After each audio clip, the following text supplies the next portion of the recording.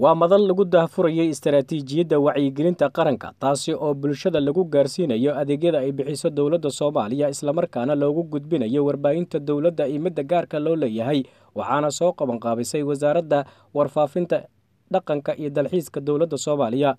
Wasiiro xildhibaano mas'uuliyiin ka socday hay'adaha dowladda qaybaha kala duwan ee bulshada iyo warbaahinta ayaa ka qayb galay madasha lagu daafurayay istaraatiijiyadda wacyigelinta qaranka wasiirka wasaaradda warfaafinta xukuumadda soomaaliya daahir maxamuud geelle ayaa saxaafadda u faahfaahiyey ujeeddada istaraatiijiyadda wacyigelinta qaranka wuxuuna tilmaamay in dhinacyada ammaanka dib u heshiisiinta musuq maasuqa iyo qodobo kale looga hadli doono wacyigelintaasi. Barnaamijkan ama ku saabsan wacyigelinta istaraatiijiyada wacyigelinta qaranka waxaan rabnaa in isu daba kacaan barnaamij anugu talagalna waa bulshada iyo dowladdeeda inay soo jaan qaadaan. Waa barnaamij anugu talagalnay kala gedisanay. Waa inay isqaadan karto. Waa barnaamij anugu talagalnay dadka dhufayska meelaha qaladkaa kaga jira shabaabkan ka wadaya dadka la halmaalo oo qoragooda iyagu isku soo jeediyey ehelkooda ku soo jeediyey inaan dhufayska qaladka ay kaga jiraan aan ka saarno. Waa barnaamij anugu talagalnay inaan dadka soomaalida ay si fiican isugu baraan ay uga doodaan waxaa la yidhaahdo musuq maasuqa iyo siday iskaga qaban lahaayeen iyo khatarta uu ku yahay. Iyo iska qabashadiisa faa'iida ay ka helayaan.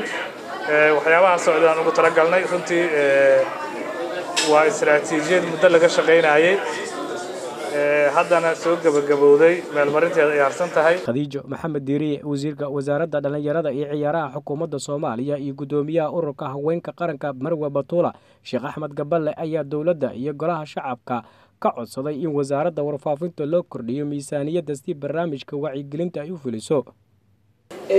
Wasaaradda warfaafintu waa wasaarad runtii xambaarsan xidmadda soomaalinimada dhaqanka iyo diinta waana wasaarad mudan in lagu sharifo lagu karaameeyo lagula shaqeeyo laguna ammaano shaqada ummadda soomaaliya oo hayso dowladda jamhuuriyadda federaalka soomaaliya barnaamijkan hadalkayga meesha ugu dhacayo waa halkan. Barnaamijkan qotada dheer itaalka dowladda waad ogtihiin bajet iyo miisaaniyadaana wax lagu maamulaa bajet iyo miisaaniyadda wasaaradda warfaafinta iyo dhaqanka iyo dalxiiska waxa ay ku leedahay waa wada ogsoonnahay. Berriyaaba baarlamaanka loo soo gudbinayaa oo golihii wasiirada way soo dhaaftay ma ku filan tahay mase ma ku filna?